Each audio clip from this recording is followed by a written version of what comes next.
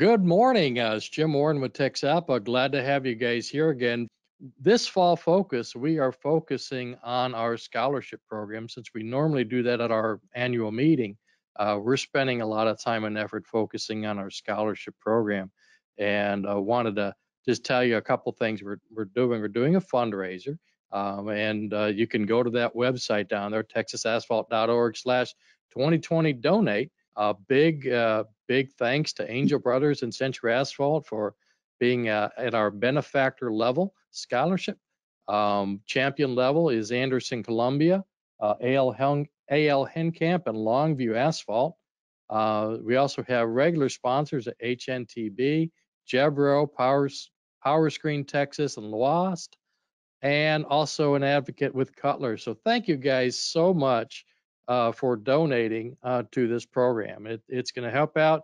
It's going to help put kids into college, and those kids are going to come and work for you guys. So you're helping yourself in this process. And today's safety share is on binder sampling uh, first aid. Obviously, we're talking about binders today on both liquid and emulsions, um, but we certainly always want to take an opportunity to be careful out there we number one, we've got to get good samples. If we don't get a good sample, we're not going to get a reasonable, a good test result. So we got to start with a good sample. And so sampling properly is critical. Um, so we all know that there's a there's an increased emphasis on sampling and testing. Uh, extreme care during sampling must be followed at all times. Um, wear all the PPE that's required, and remember these five things in case there is a spill uh, on your skin. So if you got if you're fully covered, the chance of you getting liquid asphalt on your skin is minor or very very very very remote. But if you do, uh, number one, we're going to call for help. Um, we're going to check airway breathing circulation. If you get a big splash of asphalt, it's certainly possibly going to put you into shock. So, and then the next thing we want to do is we want to cool the area and we don't and then we don't want to try to remove the actual material itself and we don't cover it and then we get ourselves to let the medical professionals sort this out. Don't go dick your stick your hand in a bucket of diesel and try to wipe it off. Let's let's get proper medical condition proper medical attention so you don't have a problem later on. Here's a little video clip that the asphalt institute put together. This is a little snippet from their program uh, just to reinforce some of these issues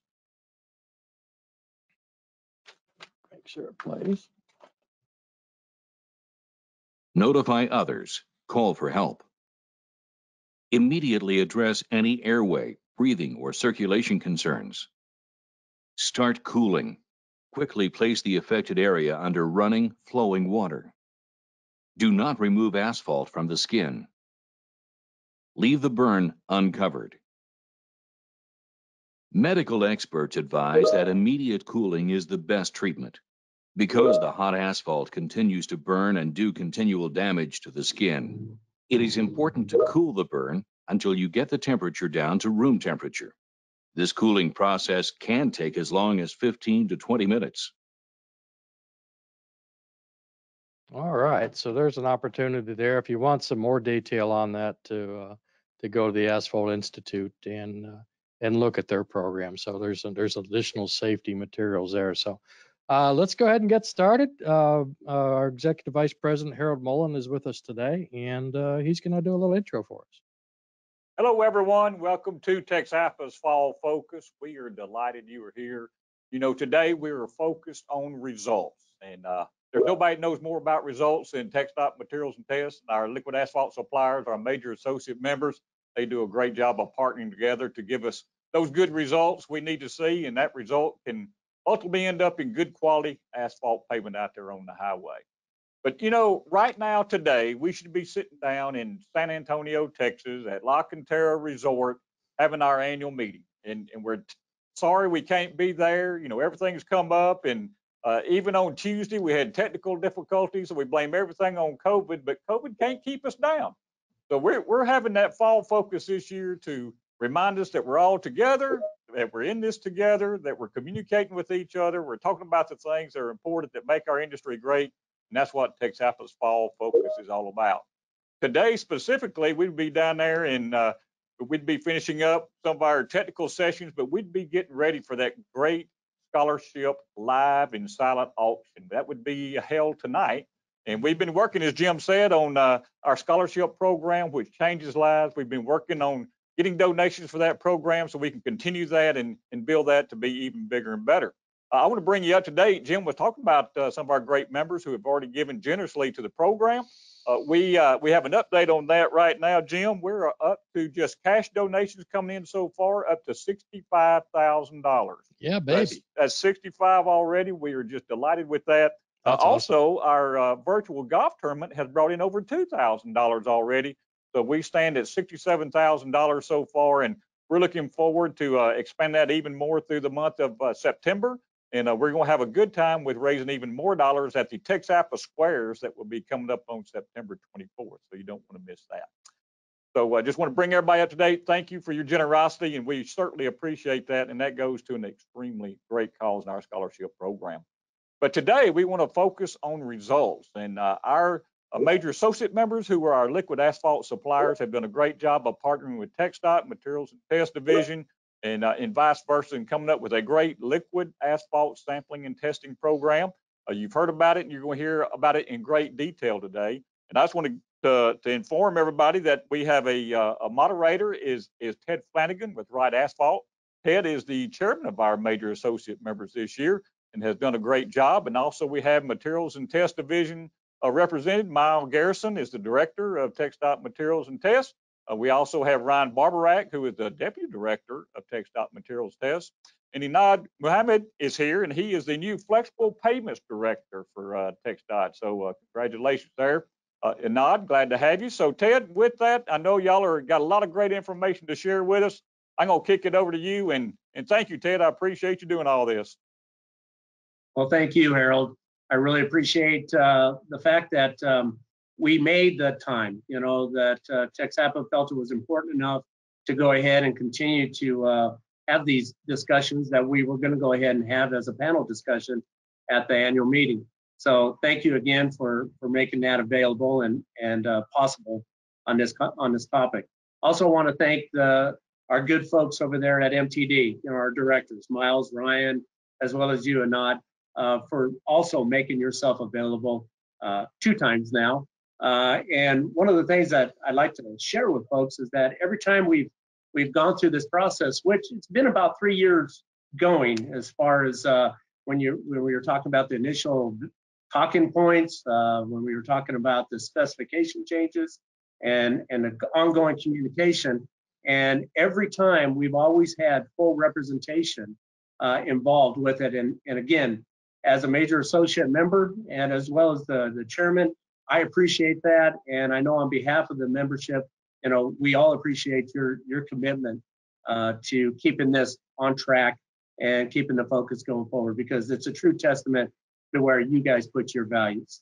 Um, yeah, this um, this spec that we're dealing with right now, um, the liquid asphalt binder uh, sampling and testing program, um, has basically been in in full implementation now for almost a year, and uh, and through that process, uh, we've been we've we've been able to have an opportunity to continue to um, look at it, evaluate it, and uh, the ongoing conversations that that have been helping us is based is based upon the fact that people have been very transparent and the communications have been open. And and I, I appreciate that on all parties because that's the only way we can continue to grow this process.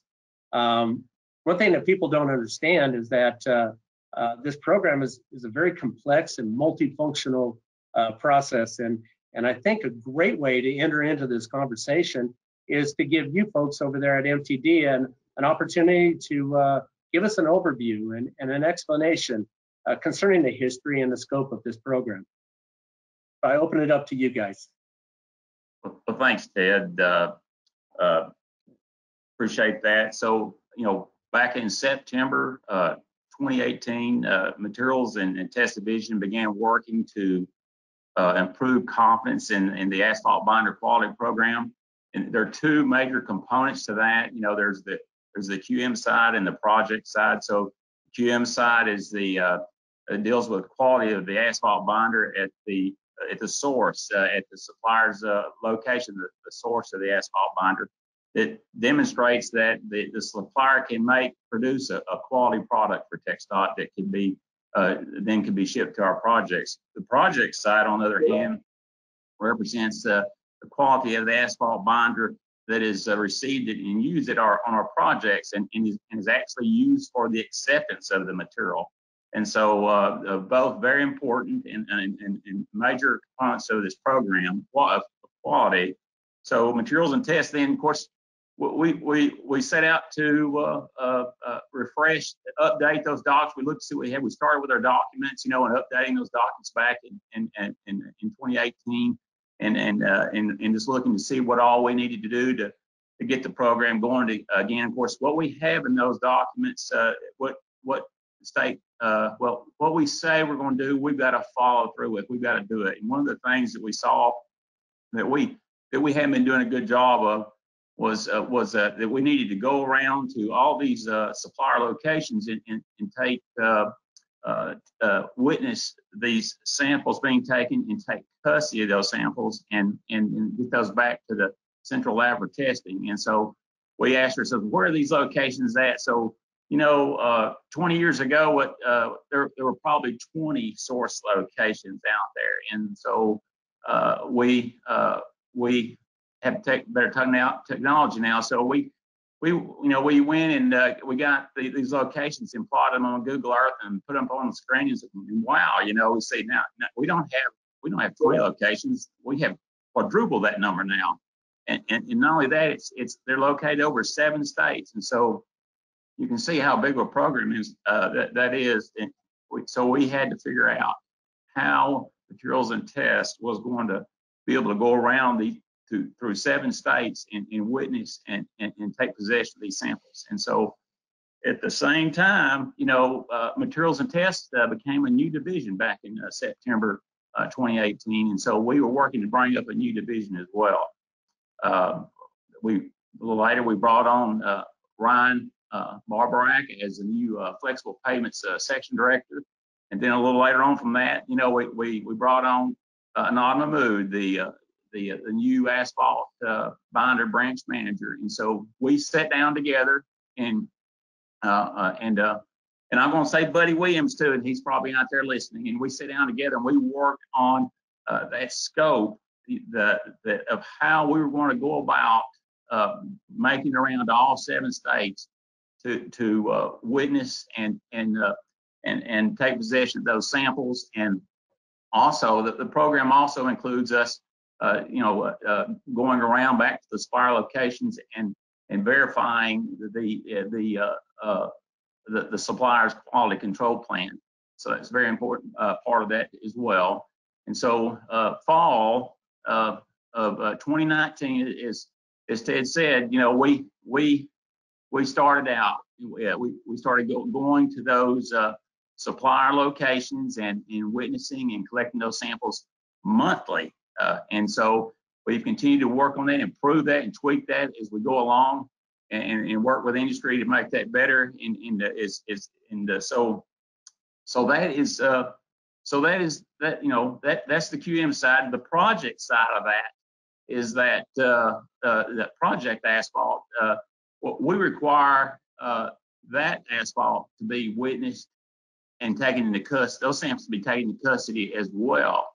But materials and instead of materials and tests uh, taking those samples, we require the districts to uh, to take uh, to witness those samples, take custody of those samples, and and we have been also been working so for project acceptance, and so we have uh, been working also uh, uh, uh, very diligently to uh, and, and, and continue to do that. To it's very important to get those samples, uh, uh, uh, uh witness those, samples, get those, take those samples, witness them, of course, take custody of them, and get those shipped to materials and test, materials and test central lab to test those materials, get those results out, communicate those results back to the, the supplier up to the and up to the district, and then the district needs to communi- communicate those results to the contractor. We've also started to something new here uh, recently is uh, we've gotten a contact name for each district. So if there's a failing sample, we will also call that the, that contact person in that district, and just in case they're away from their email and can't see it. And so it's very communication is very important to everyone, you know, and it's and it's very important. You know, time time is very important, and so uh, that you know, to quality is important to TxDOT. It's important to industry, and and so it's and so that's where we are.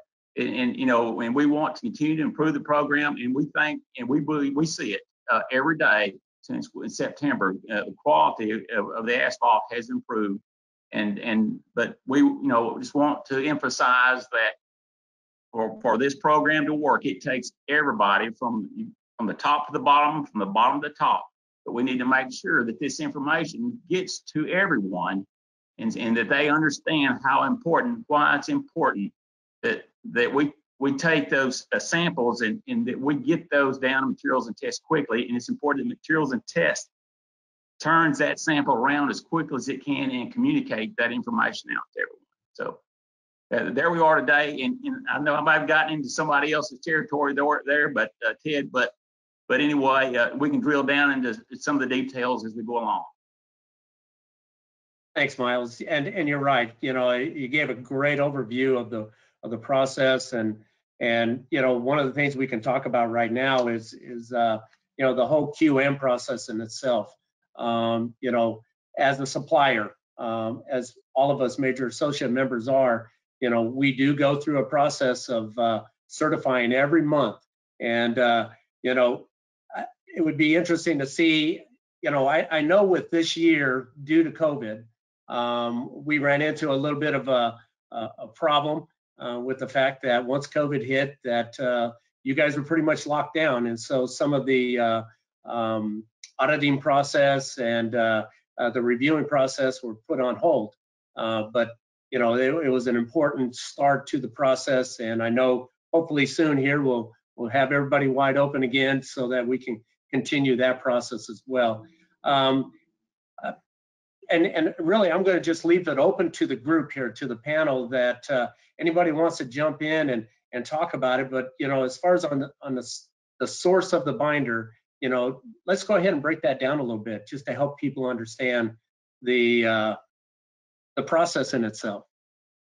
Yeah, Ted, uh, this is Enad. Uh, just to uh, to add to that a little bit, uh, the supply. I think it's critical that everyone knows that uh, when a supplier is able to send that or ship that material to a project, uh, it's been through. Uh, it's, it's, not you know suppliers are not randomly selected or just just sell material uh, online or anything. Uh, the process is uh, every supplier submits a QC plan.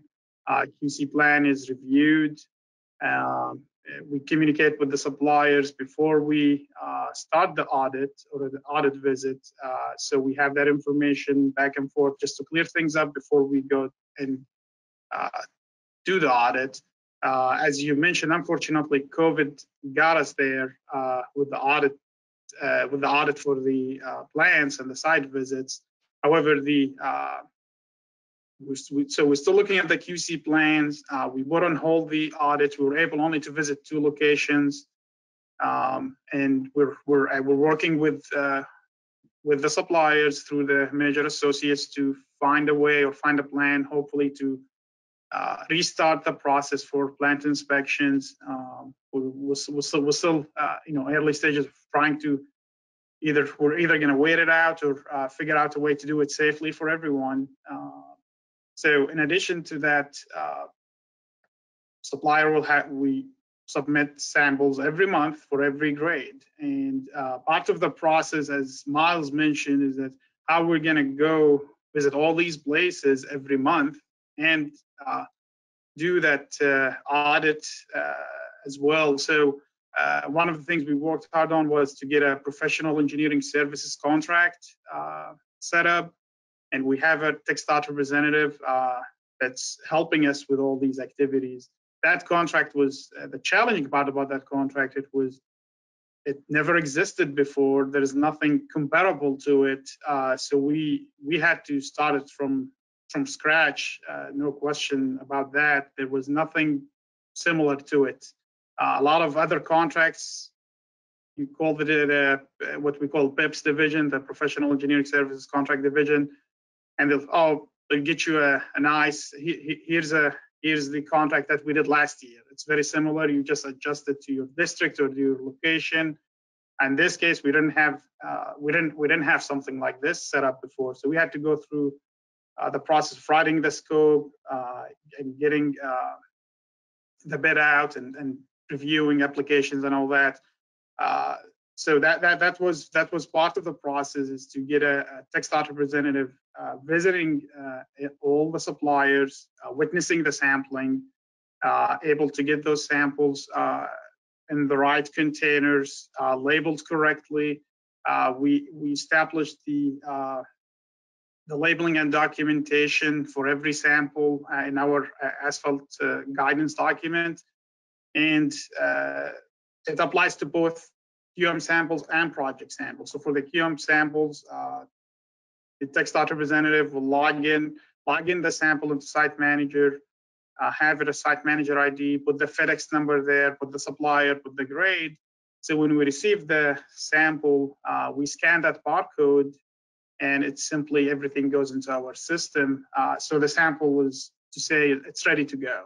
Uh, the same thing we um, uh, for the uh, project samples, we we trained districts uh, on how on how to label these samples, making sure that they're using the right container. And um, I'm, I'm bringing the right container up multiple times. If you've noticed, it, we have uh, specific containers that fit specific material and uh, especially for emulsions you need to use uh, plastic uh, jars. Uh, you can't use a, a, stainless steel or uh, just a regular asphalt binder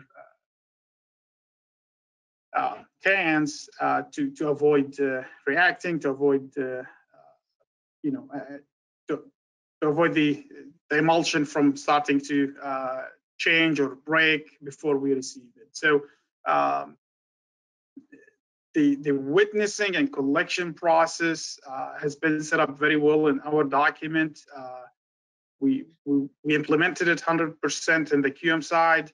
Uh, on the project side, I'm honestly very, very impressed with uh, with the district's reaction to, the, to, to this process.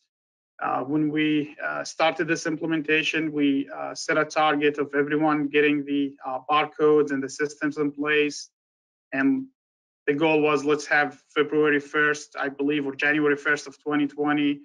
And by March, I would say more than 95% of the uh, project samples are labeled correctly uh, with the proper documentation. Uh, so I, I, think we're where we were and where we are. We uh, the districts had a,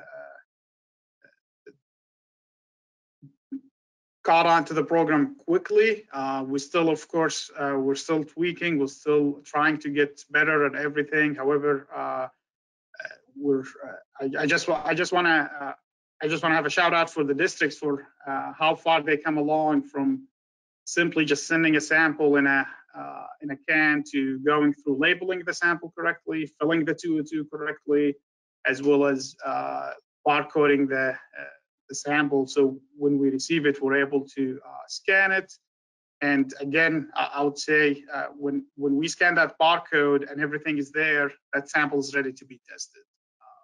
I think that's that that was a critical part of the the program that we were able to implement. And and as I said, it's it's uh, it's a work in progress. We're not 100% there yet, but we're we're very close. Hey, Ted, before you get started, just a reminder, if anybody has any questions at any time, just go ahead and type them in the question box and send them in and we'll, uh, we'll announce them and get them out to the panel. Uh, it's not too often you get this caliber of people, uh, all in one place on one screen. So, uh, please take advantage of that and, uh, uh, send in your questions and we'll get them up to them. So, thank you. Thank you, Jim. Appreciate that. And, uh, you know, one of the things that, um, and, and the reason why I felt um, the major associates group membership, you know, bought into this and really jumped into it wholeheartedly is that, you know, we're very proud about the fact that we know we send out good quality material. And the certification process is a very uh, complicated process in that it's an ongoing uh, procedure. And, and one of the things that we do uh, on top of providing monthly sampling uh, is that every month we also provide backup to our quality control plan to MTD uh, to show how the testing is going on our daily QC testing that we do uh, to maintain our certification status. And uh, these are things that are really important and, and sometimes they're they're kind of like behind the scenes you know people really don't understand everything that's happening and, and this gives us a great opportunity to uh, to discuss that um, you know one of the things that uh, we do know is that my company i know we send in a lot of samples every month uh, you know what is the typical load you guys get every month Uh, so that, I'm glad you brought that question. Uh, for for supplier samples, we receive about 280 to 300 samples a month. Those are just supplier samples to be uh, qualified uh, every month. Uh, so those are not project samples. Uh, the project sample number de- depends on the season, goes up and down. So last month, August, total we received about 670 samples, uh, both suppliers and projects, and and that was a record. That was a new record. uh, the record before was about 650 last October. So uh, so we'll see how this September and October shapes up to be. Uh, but yes, the, um, as you mentioned.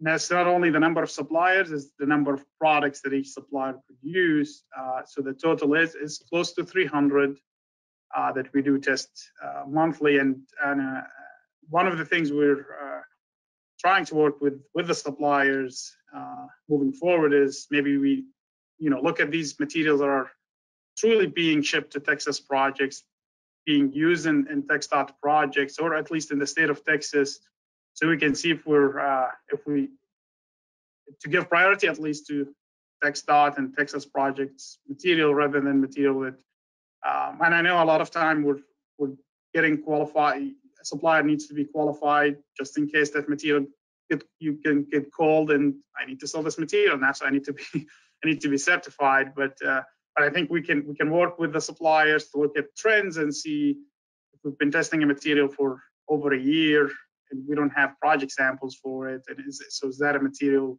that are being really used or, or are we missing something here? So that's something we're definitely going to work uh, with the suppliers on.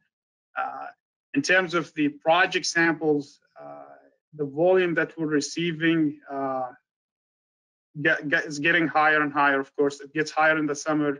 But what it, what what I want to maybe take a a tangent here on this is the uh, is the requirement for storage and, and why is that important and why these storage samples needs to be labeled correctly as well. So uh, and, and the, for the seal coat and for the hot mix specifications, uh, districts are required to uh, sample every day um, and have that storage sample uh, labeled and um, put in the system in a way that we're able to go back and look and find that grade uh, for that for, for a certain supplier we can find that grade and see which different projects it went to. So uh, if, if you're if you're a supplier and you're shipping the same material to three four different projects uh, for an entire week we should be able to find all the different samples. We should be able in our system without, without going physically into the storage where the district's storing it uh, we should be able to log into our system and find out where we have samples of that grade from that supplier shipped on, on, on that on a certain uh, date range. And the reason this is critical is, is to help us figure out if something going on, if something happens, if, if we get a sample and it fails and it's it's uh, it's alarming, it's a red flag, it's it's failing, you know, it's it's it's out of spec on every single test uh, we definitely want to know was that material shipped to across multiple projects in the district or even multiple districts. Uh, so with that, with, with that storage system and with the logging in system, we're able to find all the project samples. Uh, and we're also able to go look and see, okay, now we have 10 samples stored for that specific project or at other projects that we can bring back if needed to make sure that, uh, that, that whether this was an ongoing issue, that this material uh, is, is, is failing and it's failed in multiple projects and multiple districts, or is it just one off? There was sampling didn't go very well, or was there a contamination? So uh, the, the documentation that goes with all this is very critical uh, because um, the only way for us to be able to find that sample that's stored is that it needs to be logged in in our system. So, uh, and that's where the uh, the guidance document that we developed that goes through all the processes of how to uh, which containers to use and how to log in a sample for testing and how to log in a sample for storage and how to activate a sample that's stored to be tested again. Uh, that's that's very critical part of our program, and uh, we're continuously looking at uh, I would say how, how how much it's utilized, how much samples we have, and we're, we're continuously auditing the districts and giving them feedback on where things can be improved um, to, to make sure that we're able to utilize the system that we built. So uh, the system we built is, is very helpful, and uh, we've we've used it. Uh, we've had a couple of projects where the district says, "Hey, what's going on?" This one sample, what should we do? It failed, and then we look at what you have storage samples. They were they, actually that district had it. They sent the other samples. They were able to make a much better informed decision about the material they received uh, by testing three or four samples uh, from different dates or different production, depending depending on the situation, of course. Uh, that's helped them make a very informed engineering decision rather than just hanging their hat on one uh, sample uh, and and it just it just helped everyone. It helped it helped MTD get the testing done, get all the results compare. Uh, it helped the district and the supplier figure out what's going on, as long as the as well as the uh, material producer. So it brought everyone at least on the same table. We all look at the same results, and then the decisions were made were uh, more uh, more meaningful, uh, more uh, more reliable, and more relevant. Hey, Ted, I got a couple questions that just came in. If you don't mind, I can ask them, and then you can figure out who's gonna, who's gonna respond. So Go the, ahead, the, Jim. the, the first question is, since you receive so many samples each month, how often do you test the samples you receive from the suppliers? I don't know, maybe that's, do you test all of them that you receive? I think that may be the question. Yes, we test every sample we receive from the supplier. Uh, a supplier, uh, uh, and it's it's a monthly process. So we receive the uh, products uh, at certain times of the month, uh, and if it if they don't pass, if that material is failing, the supplier will not get a QM to sell the material in the following month, and then we do resample again and get it back until we figure out what's what's going on with the with the supplier and. Uh, and get it. So yeah, all, all the supplier samples are tested. Okay, so you guys are, your lab folks are awfully busy. Uh, here's the second question. Do you use a third-party testing party or lab to verify your findings before you address the supplier and contractor? Uh, so the answer to that, for, so for our project samples, no, we do not use third-party testing. Uh, all project samples are tested in Cedar Park MTD lab. Uh, we have uh, third-party testing helping us with with QM samples, uh, and uh, the, reason we're doing that, and I think we're going to get into that maybe a little bit later, Ted, is we, we, we're, tr- we're trying to uh, one one of our goals is to reduce the turnaround time and uh, to make it reasonable such that project uh, results are out as, as soon as as soon as as soon as possible. Um, however, with like I said, 667 samples or 670 samples in a month, that becomes challenging, uh, given also the fact that uh, we can't hold a QM sample because it will stop a supplier from production the next month, and then will eventually impact the district that if, if the producers are unable to produce and sell the material. Uh, so and we so we, we can't really prioritize one over the other. Uh, so uh, we're, we're trying to figure ways out to be able to uh, get samples out quicker. Um, and that's where we utilize a third party lab uh, testing uh, to help us with the QM uh, samples. Uh, and this way we will have more resources in the lab here in Cedar Park to get the project samples faster. Okay, thank you. Thanks for those questions, folks. Um, you know, as far as the supplier goes, I can represent uh, us. And uh, one of the things we see extremely valuable with this whole process is the constant feedback. Um, you know, yes, we do get constant uh, notification from TxDOT, not only on our QM sampling that we're doing every month to maintain to maintain our certification, but also we're getting the feedback from TxDOT on the uh, field sampling. And it's it's very important for us to be able to correlate and make sure that our products are remaining consistent uh, from the time it it gets loaded on that truck to the time it, re- it gets received and sampled in the field. So chain of custody is very important, and this helps us to try to close the gaps that have been involved or that have been present over the years uh, in understanding, you know, really what's going on with our products that are out there. So these are very valuable, and we appreciate it. And the communication is ongoing. Um, one of the things that we hope as as we continue to move was move forward is your database that you're building up is is your your whole logging system to be able to help us respond to issues or questions or one-offs that sometimes happen in the field um, and that's very important and um, it's not just you know mtd communicating with the districts but they're also communicating with us and helping us put a pin to it and and really understand what's going on with our products out there so that's been very valuable uh, and we appreciate that.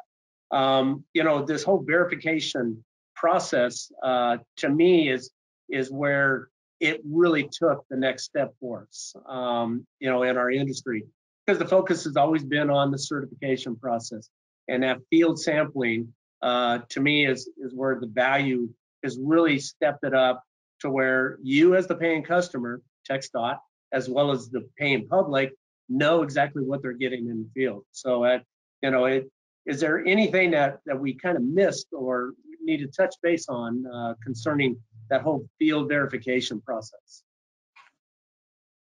Uh, the one thing I would emphasize, as you mentioned, is the chain of custody. Uh, we definitely, uh, the districts uh, are responsible to make sure that the sample that's collected is witnessed uh, by a TxDOT employee and labeled correctly and stored correctly and also shipped in time to MTD. So, uh, so we're able to test it. Uh, chain of custody is very critical. Uh, if if the district, uh, if, if the sample is not tracked from the time it's collected, if it's not labeled correctly, uh, it just it's just it's not going to go anywhere. It's not going to help anyone. Um, so I'll just emphasize again the chain of custody. Uh, we, we, we bring that message to the districts every every time we're able to. Uh, that these are your samples. Make sure labeled correctly. Right container. If it's storage, you know where it's stored, uh, so you're able to uh, call it out if needed, and ship it also on time uh, to to us to MTD, so we're able to test it and get the results back. Um, these are uh, these are some of the challenges that we're uh, we're able or when you look at it there, there's the, the, things that can shorten the time from sample collected to a report sent out uh, one of the two things we can look at is how long did it take to get here and how long did it take to be tested um, so uh, if the sample uh, collected today if if it's shipped within the next two three days we get it in the lab we test it that's that's ideal. Uh, so uh, if it stays longer uh, or kept in a storage for a while before it's sent, it will just you you don't want to get delayed results. Supplier doesn't want to get delayed results. Hot mix producer doesn't want to get delayed results. So uh, that's where the chain of custody and timely shipping is, is very critical. Um, and again, uh, we we do address uh, issues that arise like this. Um, I would say as soon as as soon as we notice something, we bring it up directly with whether it's an area office, whether it's a district. Uh, I would say we've we've had a lot of improvement uh, on the uh, on the time timing for shipping recently. Um, and I, I, I would just again uh, go back to say, like you said, this has been for a year already. Uh, but if you think before that, what was the expectation, what was the requirements, and what was implemented and not, uh, we we throw a lot of the districts all at one time, saying you have to do one all these things, including storage, uh, shipping, and all that. And the, the districts reacted very, very well, uh, and but we, we, we still can improve and we will improve, of course. Uh, but I just want to uh, make sure that we look at it from both sides. Uh, yes, we do sometimes uh, get a sample maybe shipped in four days instead of two days, uh, but we get a lot of samples shipped on time. Uh, we're able to get samples out as, as, quickly as we can as well here. So I would, uh, again, as I said, I would emphasize the chain of custody and, and shipping the samples quickly. And we, we, all, we always do that. We reach out to the districts and uh, clarify things or issues and, and give them any help they need if, if we're able to help. Good. Hey, just one more Yeah. question that came in real quick, if you don't mind. It was stated that TxDOT is following up on project-related binder samples that have failed. Will these findings shape specifications and special provisions for future construction projects? That's the first question. And what changes, if any, are anticipated going forward? Can you repeat the first question? Sorry. Okay, um, it was stated that the TxDOT is following up on project-related binder samples that have failed. Will these findings shape specifications and special provisions for future construction projects? So I, I think the answer to that, and, and Ryan and Miles can jump in here if, if they if they'd like to. I think the first thing is uh, the one one of the things we're trying to do is uh, understand uh, testing variability between us and the suppliers. So one of the things we're trying to do is to do a what we're going to call a Texas round robin uh, for binders. So for all different materials, there is a proficiency sampling, uh, whether it's aggregate, whether it's concrete, whether it's asphalt. I'm sorry I said the word concrete.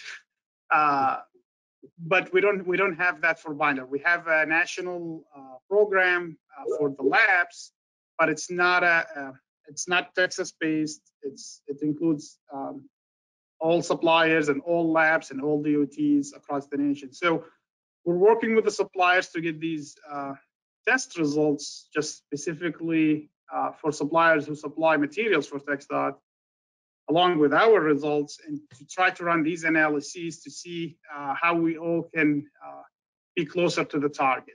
Uh, in terms of the specifications, uh, we uh, if the samples are failing marginally and um, and the issues are just for that sample, I don't think that will uh, drive us to change the spec. Um, and um, so I, I, don't know if Miles and Ryan, you guys have any input on that? Yeah, no, I, I guess, you know, from my standpoint, we'll just, uh, once we get the results from the proficiency program that we're planning on establishing, my thoughts are is that we, we take a look at it in future specifications, but as of right now, I don't think we have any any plans to make any changes up to this point. Thank you, guys. Hey, and just a reminder, we've got about 15 minutes left of the program. So it's gone fast, but uh, we got to keep on target here. Thank you. Thank you. And, and Ted, I just wanted to uh, also emphasize the importance of sample labeling. Um, you know, I think what everybody needs to really understand is, is that, you know, the sample is only as good as how well you label it right? So if you don't put the right information on the can, if you put the wrong information on the can, uh, you know, basically uh, it, it really affects the credibility of the sample and then of course the credibility of the test, right? And so when when we at Materials and Test perform testing on an asphalt binder sample, we need to know the PG grade, for example, to know how to test it, right? And so it's very important that the samples get labeled correctly when they're sampled. And then like Enad uh, discussed, you know, the custody part of it, with emphasis on that as well, because the custody portion of that is also extremely important. Then I also wanted to kind of explain to everybody about a little bit more going into detail about the barcode system. So when a sample is collected and it's being shipped to MTD, we are asking districts to put in the FedEx tracking number within Site Manager. So when you start to think about that, what that does is that that lets us know kind of we we're able to track the sample from the district location to MTD. As soon as that sample gets to MTD, the reason why we have districts put the barcode on the box is because when it arrives to our shipping dock, our shipping and receiving person scans that barcode that's on the box. Then that box is delivered to our lab.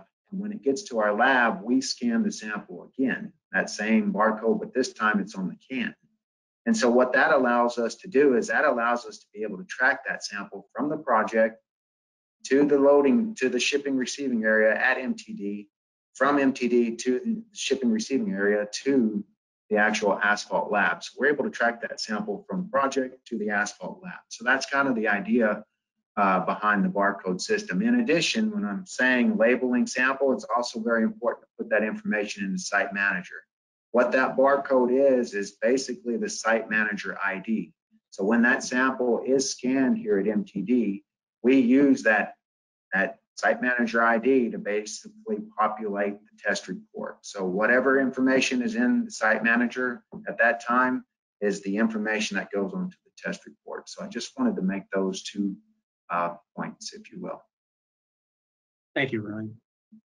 You know, uh, one of the things that you were talking about um, to get a better feel for how well we all align with each other or correlate with each other. Um, you know, we're all in agreement that uh, we need to be a, a part of a Texas specific round robin testing just to make sure that we know as an industry what is our standard deviation between you know labs between testers between locations uh, so that we can best uh, produce the best possible product out there that we know that we're not going to have an issue in borderline or barely in or barely out of spec that uh, we all have a better best understanding of what our deviations are between our labs.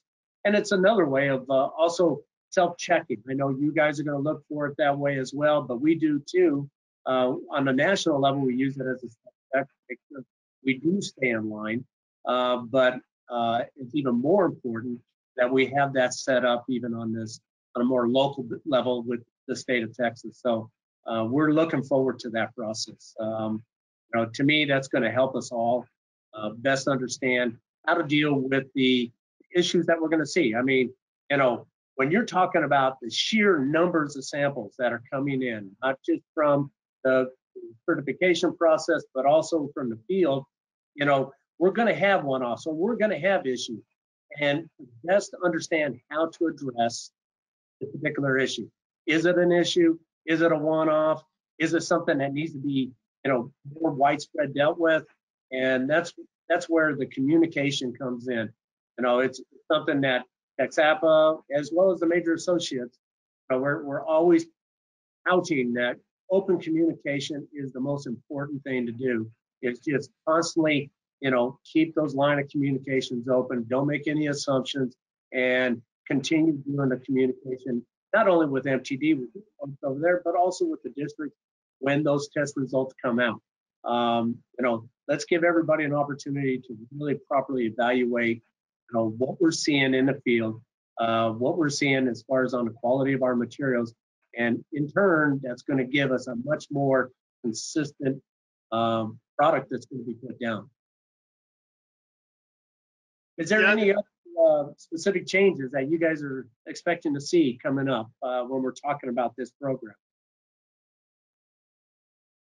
about the program in general, um, the- I think the couple of things we mentioned is uh, starting the Texas specific round robin.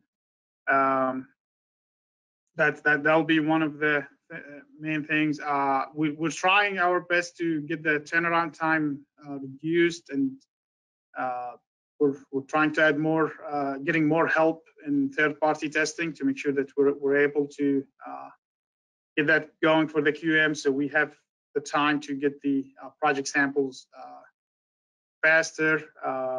We're, we're, we're, uh, we're always working with, with, the- with the suppliers, trying to see if there's any, uh, anything we can, uh, like cleaning up the specification or if there's any issues, that's, that, that's always gonna be ongoing process. So, uh, we're, uh, that, that's something we're doing. Um, But in terms of changes, uh, we just wanna, uh, I think we're getting almost to the time where, we have a, a year long of experience that we can look back and see and uh, see where where things were missed, uh, if it's individual things or if it's uh, a certain location or is it a system thing that we can uh, we can fix. As as Miles mentioned, uh, we start calling the districts when we send a failure report. Uh, that we just implemented that recently because we had a couple of issues where we get a call from someone's like, we didn't receive this report, and then we did. You know, you go back and look, and it's it's not it's not you know who who did and who didn't do what, but we just try to add another layer of helping the districts, making sure that they know that they got that uh, that that email. Uh, so we reached out to the districts. We came up with their uh, list of contacts, just like we did with the suppliers. Uh, I believe you remember that Ted back uh, last year. We we wanted to make sure that also the report is going to the right person uh, in the at, at the supplier side. Uh, we, and believe it or not, we had some wrong emails that uh, someone changed email or something. I mean, things change all the time. So that open communication, uh, keeping updating these lists of list of contacts, that that that's very critical uh, to get the results out to the district and the supplier, and having them also uh, you know get the results eventually to the contractor and the uh, and the material producer or a hot mix producer as well. Uh, so uh, we're, we're continuing to do that. As uh, Ryan also mentioned, the barcode, and uh, we, we're we're practically able to internally know that a sample is coming to the binder lab once it's received at the uh, at the dock. The dock receives. I mean, we talk about 600 samples a month. Generally, them the dock's receiving thousands of samples uh, for the entire building. So, uh, and other equipment and so many different things. So uh, it it helped us looking. I can open an Excel sheet, see now. Okay, we have 10 samples scanned today. This morning, we're expecting them to be here in the next couple of hours, and we double check that and make sure that they're received. Uh, and if not, we're, we're, we're either going to find it or request another sample or, or work on it immediately rather than wait until two months later, we get a call from a district. I sent the sample, we didn't get the results. Well, send us another sample now, right? But it's it's been, it's been 60 days, so uh, we we check that uh, two to three times a week. Uh, that Excel sheet that tell us what's logged in the lab, what's logged into the docking station, and that that has been honestly uh, very helpful in closing these. Uh, you know, picking up the issue before it becomes an issue, right? You get for, instead of waiting until the district asks for it or, or a supplier asks for a result, we're able to figure that out quickly. So, so these are some of the changes we're implementing as we go. Um, and as I said before, uh, we're we're almost there. We're not there yet. Uh, there's always room for improvement for all of us, MTD, suppliers, and districts, and and we're, we'll take any opportunity to or any chance to listen to any ideas to get things better, and we'll, we'll definitely uh, we'll, we'll, we'll if, if anything is implementable, we'll implement it as long as it's going to make things better for everyone. We'll definitely do that. Thanks, Enad. I know we don't have very much time left, and I'd like to go ahead and open it up to both you, Ryan and Miles, as if you had anything else you wanted to add to it. Um, we'll go right Yeah. ahead. So, yeah, and so, yeah, we're, we're, we're trying to make, we're working with the, the existing program we have to make it as efficient as, as it can be.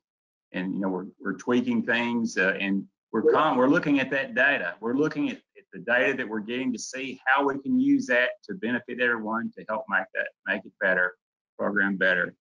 But I, and and I I do want to bring uh, something to uh, out that, that Jim Warren said at the beginning of the meeting is very important. You know, uh, and it, it, that applies to all materials that you, you take when you take that sample. You know, you take it. You, you take a representative sample. It is very important. It's, it's important for all materials, but for asphalt binder that we're talking about today, that is very important. I want to point out that TXAPA, and you talked about YouTube videos. TXAPA has YouTube videos out there on on on proper uh, methods for sampling uh, that that binder, that asphalt. And so I want to point that out. If, and, and if, if you know if if you are not uh, uh, if you're, you're if you're responsible for sampling liquid asphalt, I encourage you to go out and seek those out. You know, and I, I haven't looked through all of them, but the ones that I have seen look very good. There, you know, there's it, it, it covers different uh, sampling locations. You know, and so I want to also say that it's important that when you uh, then when you take those samples and you go into a site manager to document that, you also put in there where you got that sample from. And so, uh, you know, in everything you do, you know, it's all about confidence, you know, in, in our program. So, and, the decisions, what you do should be, uh, uh, the actions you do should be to uh, uh, decisions made to uh, for in the name of quality. And so, you know, to, to provide confidence to everyone that that sample that we got, those results that we get are, are, are representative, you know, and, but it goes back to what Jim said, getting that right sample, doing that right, you know, and then, then everything else that's been talked about today is, is very important. Right. How about you, Ryan? You have anything? Yeah, Ted, you know, I think like Miles said earlier, you know, this this is a team effort. There's a lot of moving pieces and everybody needs to do their their part, right, to make this entire program work. And you know, as we said a couple of times on the on the presentation that, you know, we're we're looking into how to make this more efficient, make it as efficient as we possibly can. But I think also we we need to understand that everybody needs to do their part to make this process work. And so Excellent. And again, uh, we appreciate it. Uh, we appreciate all your efforts uh, and the ongoing process and the openness to uh, even the feedback that you're getting. Um, because I know we're good about giving a lot of feedback. So, uh, you know, we appreciate that on, on your part as well. Jim, I think uh, that's going to pretty much wrap it up for us. And unless there's some questions that need to be answered. Nope, I think uh, that's that's all we had uh, that came in. Hey, I appreciate uh, all the feedback, uh, the questions. Uh, great, great conversation today, uh, helping move the whole thing forward. I'm, I'm amazed at the number of samples that go through that building, and and you know we just got to keep it going. And you, it just reinforces we've got to use the labeling, we've got to use the barcodes, we've got to use all that sort of stuff in order just to make sure we're testing the right sample and we're reporting the right thing. And you're right, we got to get good sampling. So, hey, just real quick, um, a big thanks again to our sponsors uh, for our scholarship program donors this year, benefactors, Angel Brothers and Century Asphalt, uh, Anderson Columbia, Ale Hell, Helmcamp, uh, Longview Asphalt, HNTB, Jebro, Power Screen Texas, Lavas, and Cutler. Uh, big thanks to that. Check us out on YouTube. Let's all be safe out there um, and keep doing the right thing, laying smooth asphalt and ever forward, everybody.